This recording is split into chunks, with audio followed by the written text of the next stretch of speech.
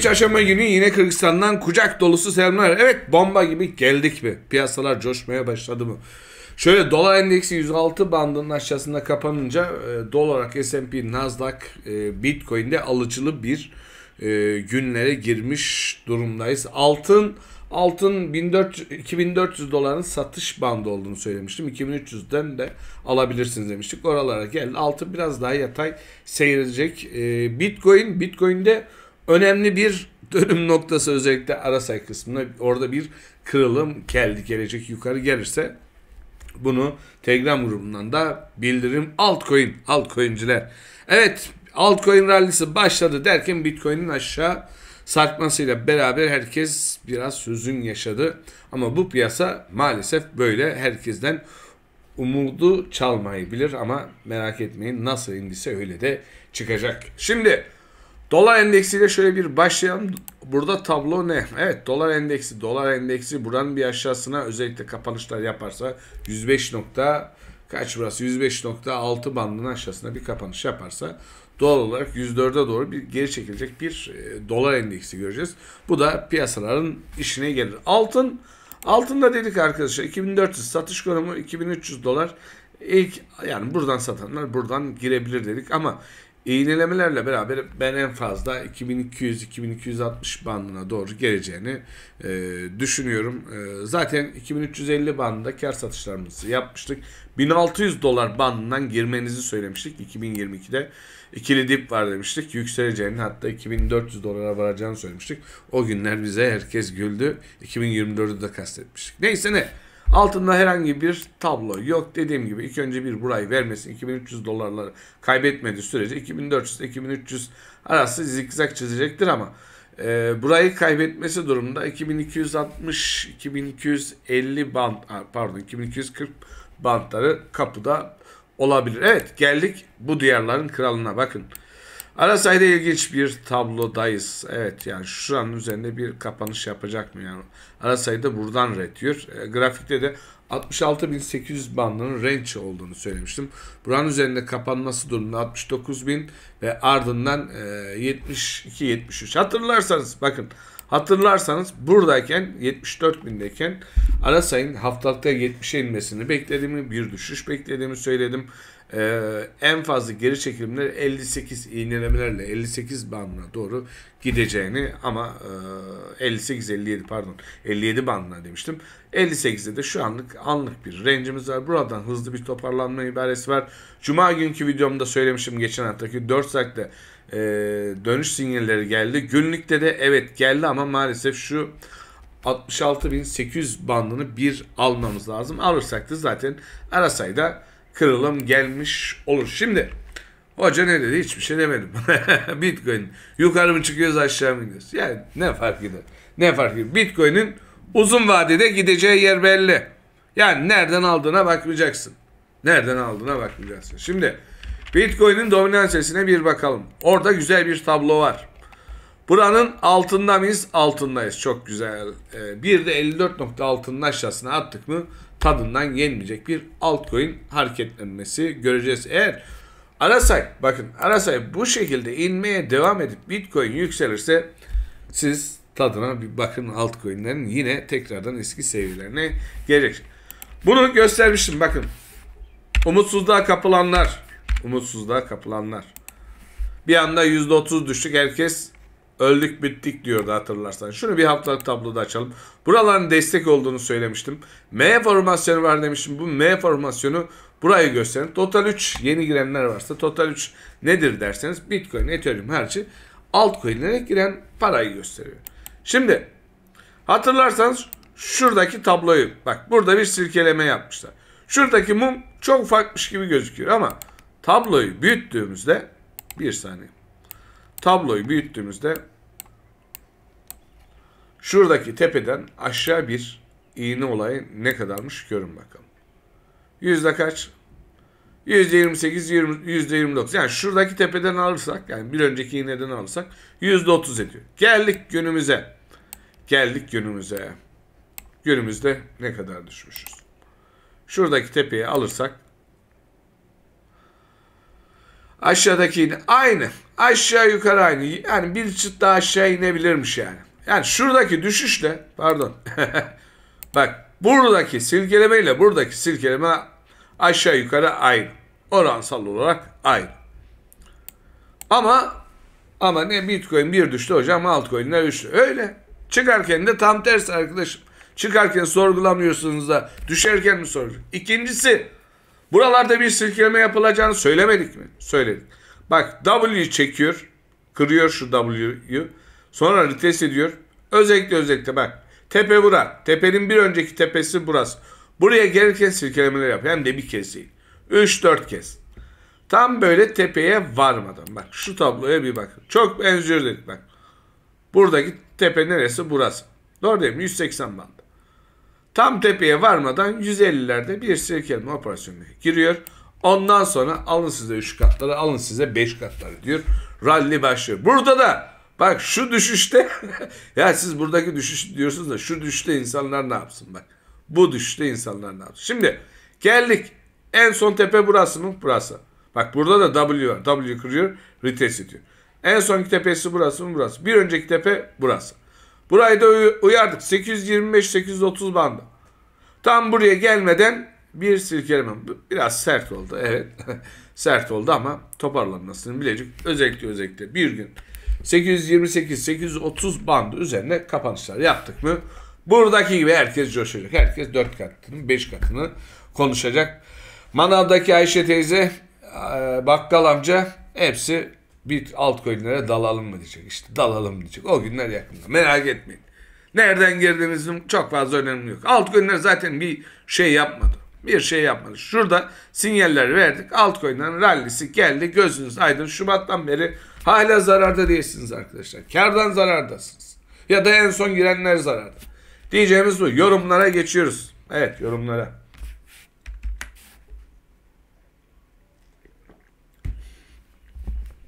Altta son diye bir ATS tablosunun arzına bakabilirsiniz. Çöp mü yoksa geliyor. Yani borsalarda Ömer hocam incelerim ama borsalarda değilse e, şillemeye girer. E, Pepe'yi yorumlar mısınız? Pepe'ye bir bakalım. Ya bu coin yok arkadaşım ya. Baktım Muster kardeşim. Yok öyle bir coin. Evet. E, neyse şöyle aşağı yukarı zaten bütün yorumları cevapladım. Şu ATS ile bir başlayalım. Tabii coin market cap'imizi bir açalım. ATS evet. Alt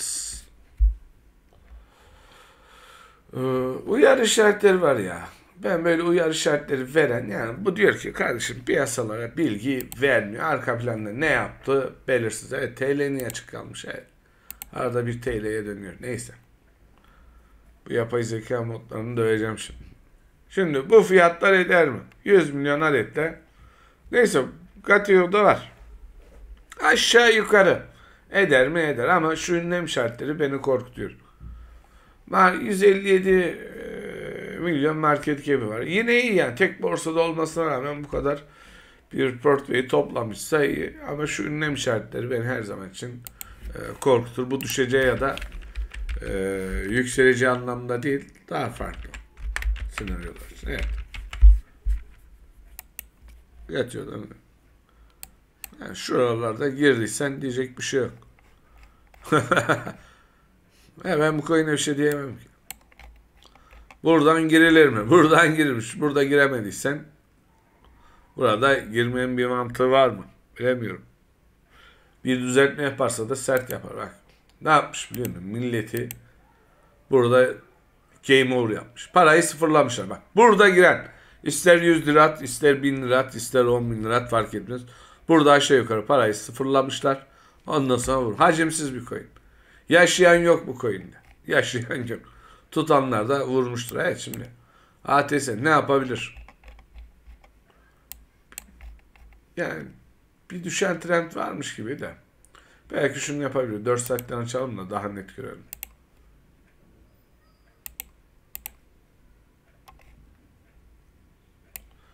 Şuradan ağrı bir yükselen trendi var. Bu bir. Şurada bir teyitli bir trendimiz var arkadaşlar. Yani görebildiğimiz en fazla bu var. İki, şuradan itibaren gelen de bir düşen trendimiz var. Üç, üç. Burada da bir desteğimiz var. Yani olur da diyor bak.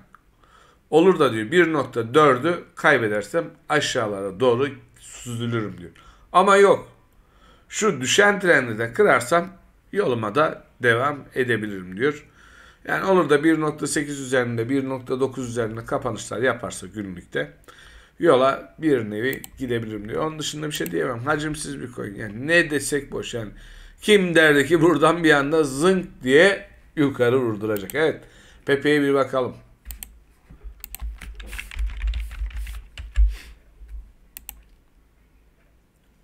Pepe düşen trendi kırdı. Güzel. Yani şurayı alırsa 848 bandını alırsa pozitife dönerim. Aslında burada mı range ya?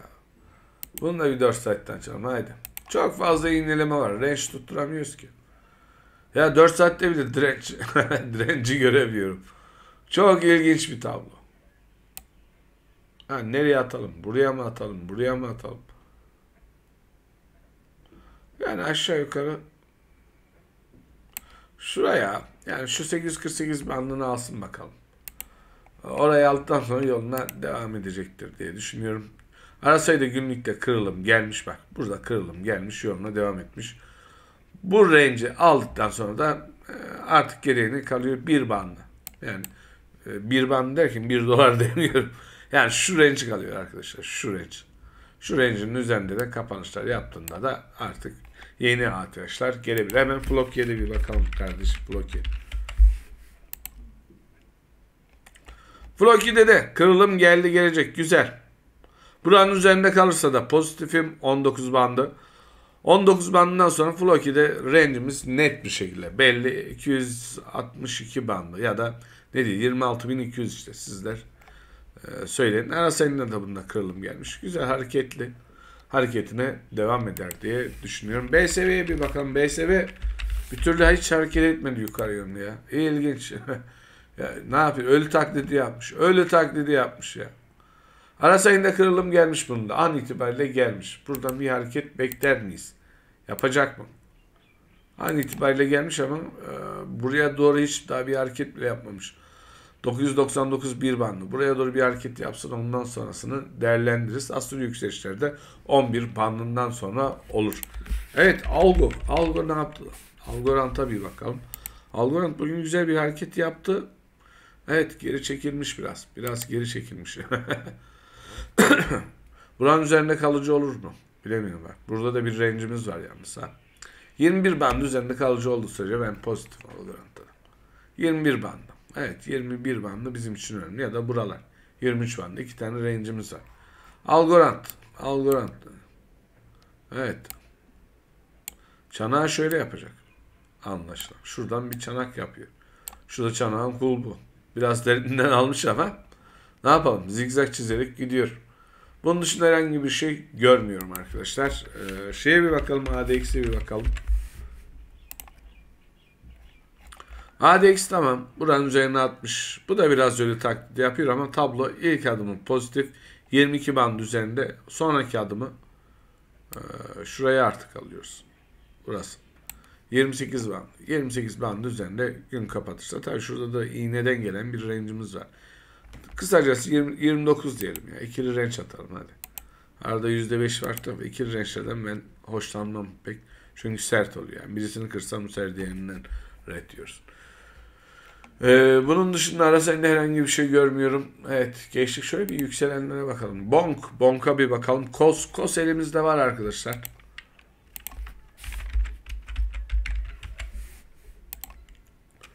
Bonk evet güzel yükselmiş. Tablo pozitife dönecek yani. Şuranın da üzerinde kalırsa artık. Kaç burası? 28 bandı. 25'i 26'ya almış ama şu 28 bandı alırsa da daha da güzel olur. Bununla da arasayla kırılım gelmiş yola devam diyor. Bonk bakalım nereye kadar yükselecek.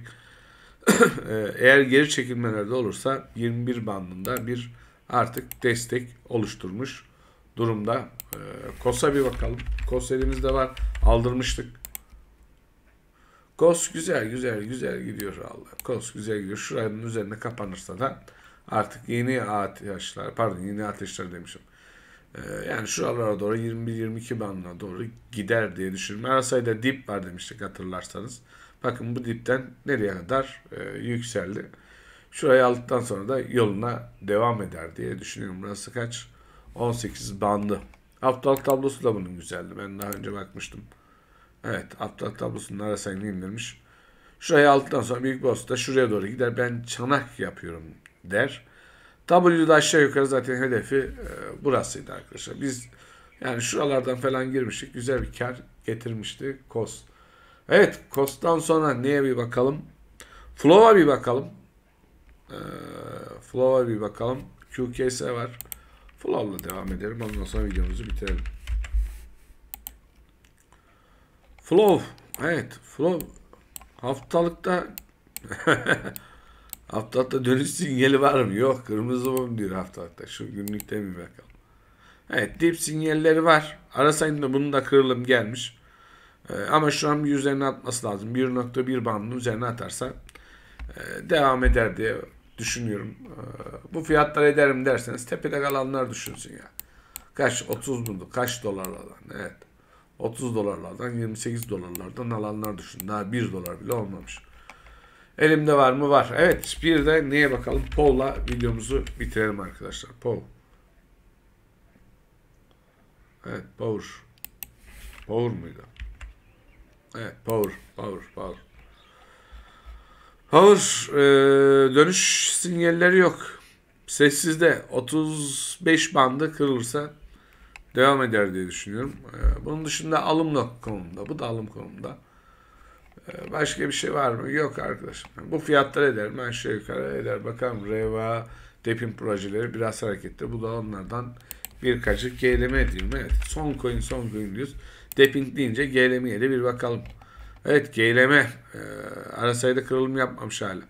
Şurayı bir alması lazım. 42-43 bandının üzerine bir atması lazım pozitife dönebilmemiz için e, hala burada bir savaş veriyor. Günlük tablosu arası deyip de haftalık tablosuna da bir bakalım. Haftalıkta da güzel bir düzeltme yapmış ama şu an bir üzerinde kalıcı olması lazım deyip videomuzu burada bitirelim.